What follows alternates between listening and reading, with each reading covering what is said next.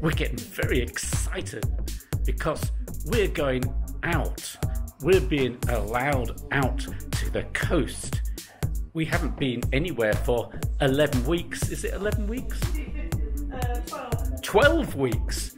We haven't been outside for, well, anything more than shopping at the supermarket. So, this is an exciting moment. We're all packed. Take a look. We have important things here. See, we've got oh crisps and is that chocolate? Look, chocolate. We've got all the food groups here. What else is there? Oh, um, Pringles. Oh, you see, we're going to have a picnic. So, there you go. And there's the door. And soon we'll be going through it. Ah, the other side of this door. Look through there. As you can see, there is adventure beyond that door. Yes, I've got my Osmo, and we're off. And I'm relegated to the back seat here, so I can't open the gate. But Helen claims she can. But let us see whether she actually can. She did. Oh, succeeded. Amazing. The idea being to emulate those tracking to celebrate the work Yes, I've got my phone. I've got my glasses. on social media. Right, we had double check to see whether we had everything because we can't remember what we normally take with us when we go out. It's so exciting and so different from our normal experience of life, which is mostly sat on the sofa, and staring blankly ahead at our TV screen. Oh, there you go. We're going to be listening to the BBC on this road trip. It will be an education.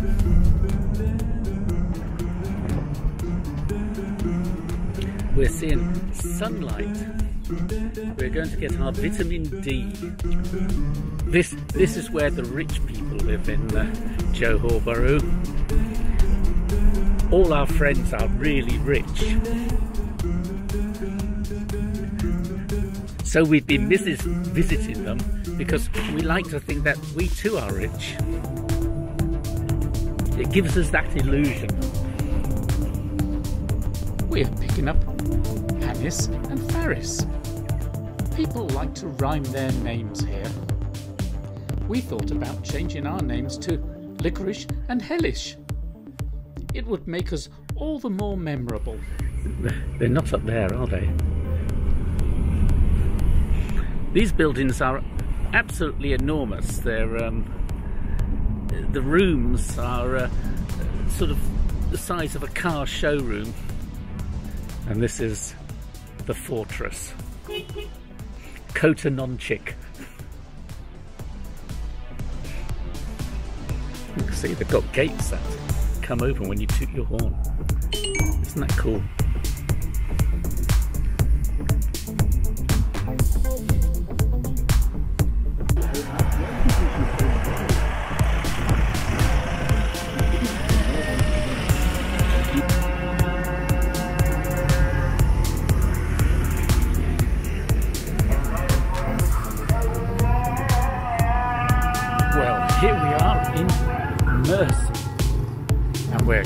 Have lunch.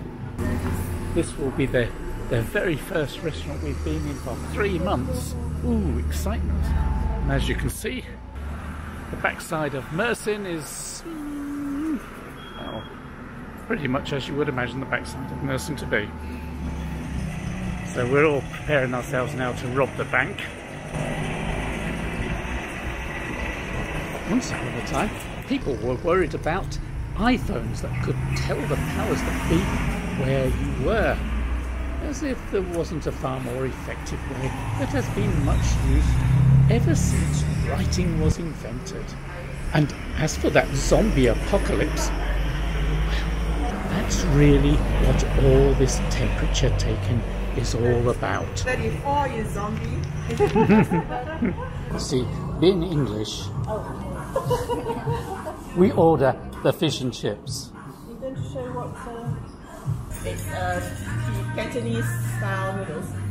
Cantonese style noodles. You know, of all the years we lived next to Canton and in Cantonese land, did we ever have that dish? No, no, that certainly doesn't look like Cantonese noodles at all. I had a different vision in mind, but this will do.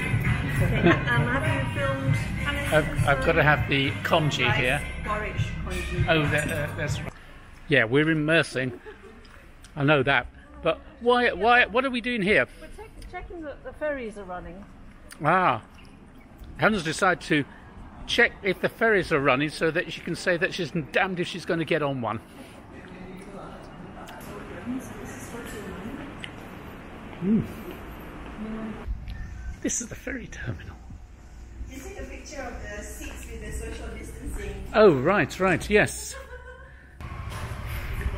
They're all prepared for social distancing, and nobody's going to take the blindest bit of notice. Uh, yeah, we have social distancing when we go for the, to the park.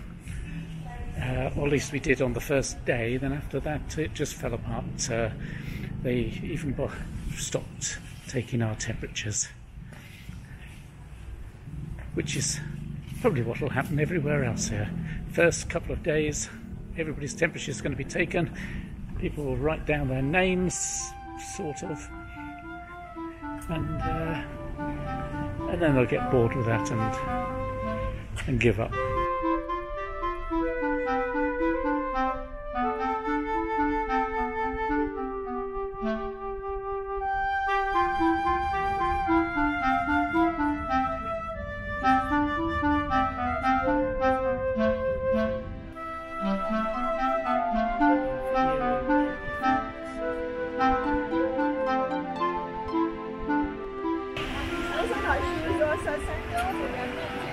This is Mersing Beach, I do believe. What, what's the name of this beach? This is uh, Telok Arong. Salok. Telok. T-E-L-O-K. Oh, Belok. Telok. Belok. T-E-L-O-K. Telok. Oh, Telok. Telok Arong. Telok Arong. There we go. That's where we are, Telok Arong. Beach full of tropical splendour.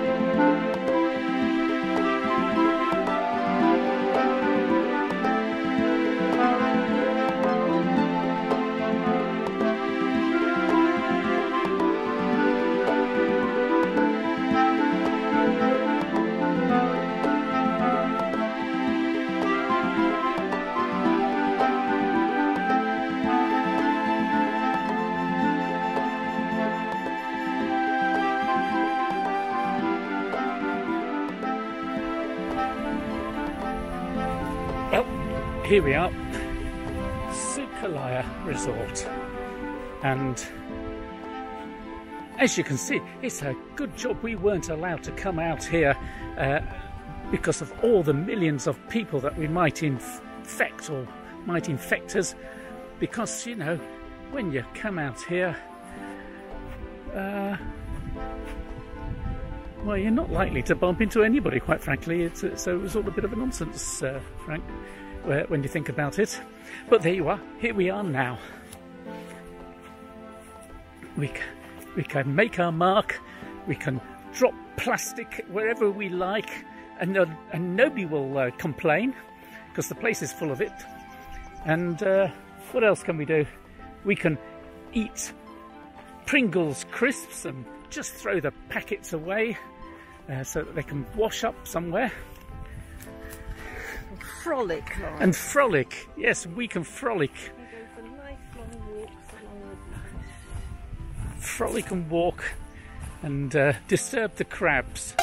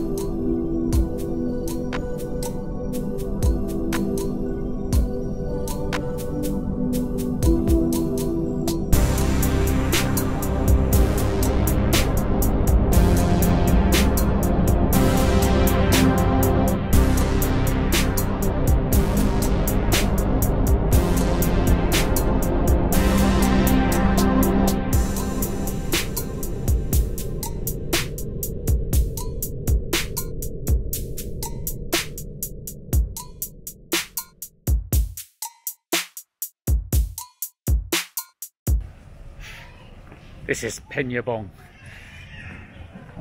And it's all brand new. This is new from when we last came here, which was probably last year actually. Oh look, a fat-tailed cat. Why do they have fat-tailed cats in Malaysia? Well, I've no idea. I asked Siri, and he was no use. He just talked about fat-tailed geckos. Not quite the same thing. My theory is that the sultans kept weird cats as pets, so a wacky-tailed cat uh, was deliberately bred as some sort of fashion statement. The sultan has one, so why shouldn't I have one as well?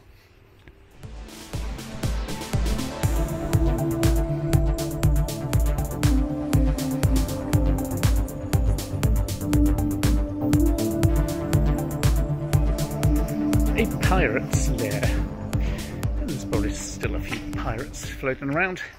There's a, a pirate here that I I know myself. Picked up earlier. Yeah, that's that's that's right.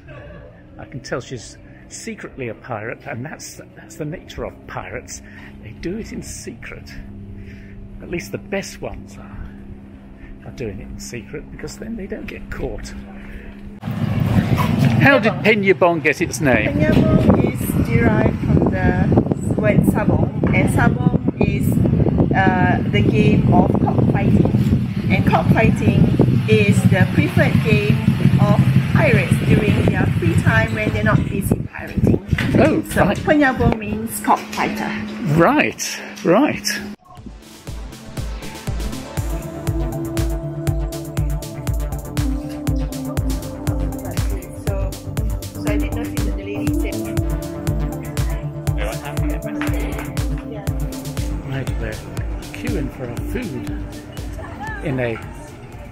Socially distancing manner, aren't we? Hello, pussy.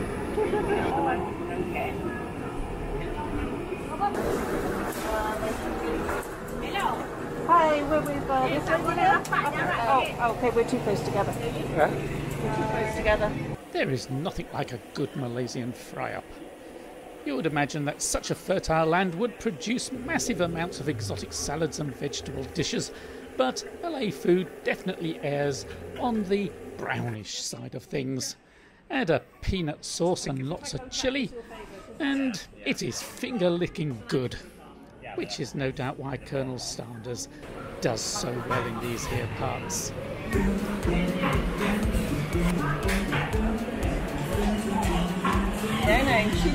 Uh, that's Customer. There's, There's too much your fans are going to be very. stay and the, the people are helpful. It doesn't matter that we don't.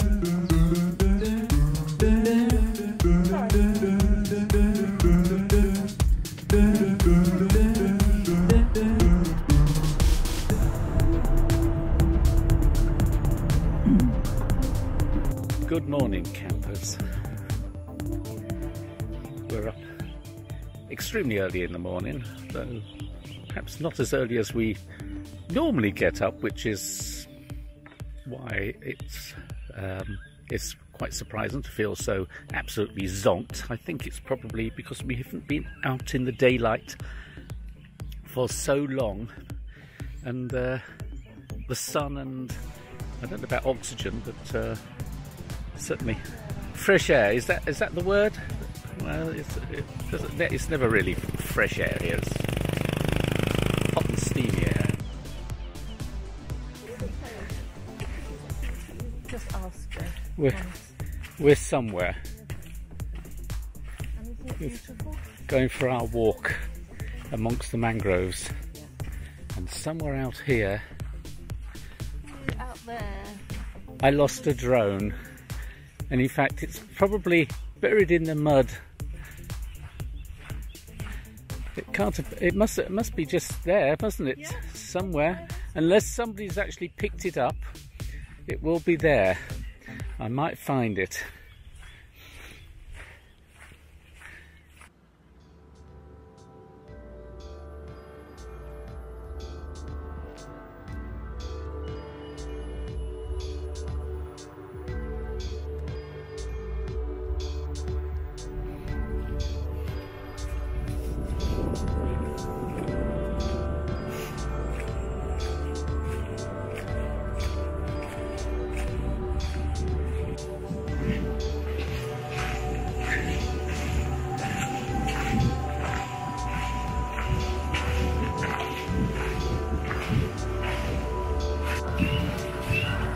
What we're listening for? Crabs.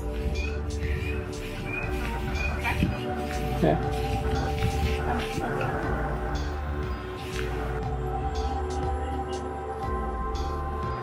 The crackling, bubbling sounds.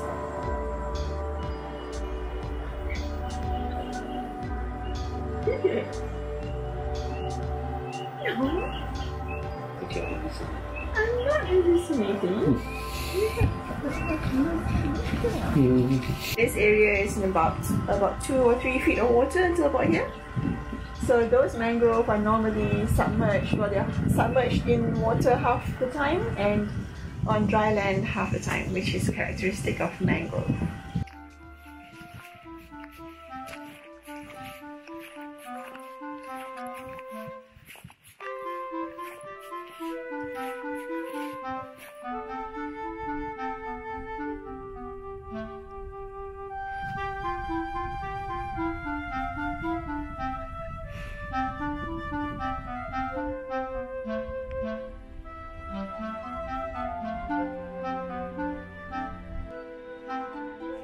It's not moving. I wanted to wave its claw. Come on, wave your claw.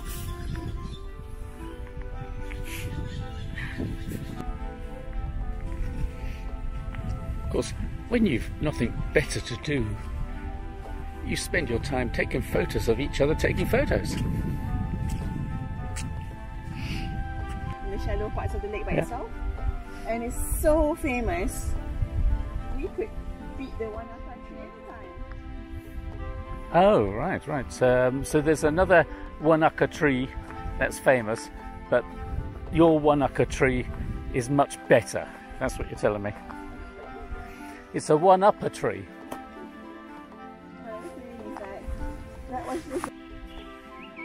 We're the only white people to have seen these trees. Yeah. I somehow doubt it.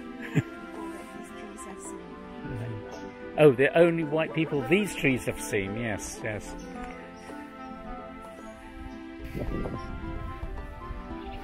Now, I have it on very bad authority that these trees were planted by Hannis and her cohorts.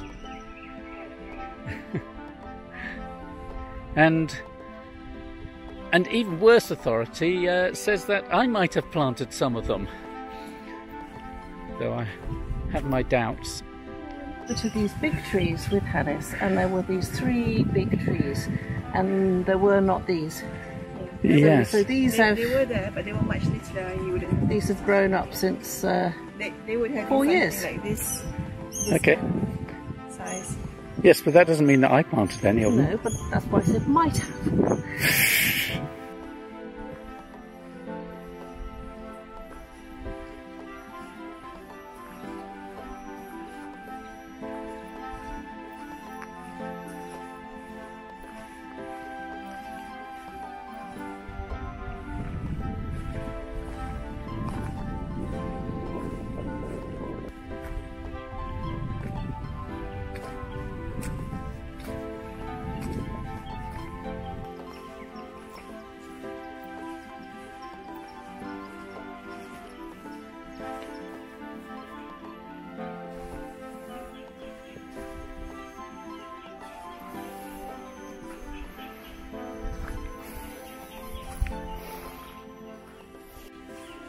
Well, the sun is up and the heat is down.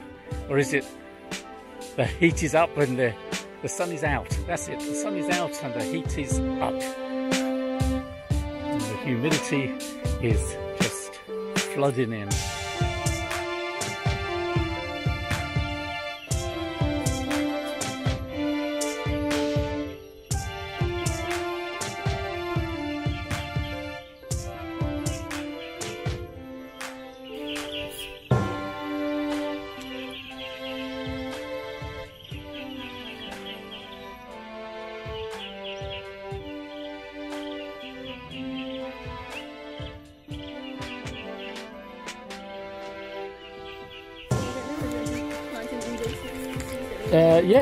Plant an invasive species. That uh, right. I'm, I'm going to do that. Just okay. Let's see. Right. I'm, I'm planting an invasive species apparently of uh, mangrove. Uh, four years from now, everything here will be dead and swamped by this uh, huge tree which will uh, suck the life out of the entire place. So there you go.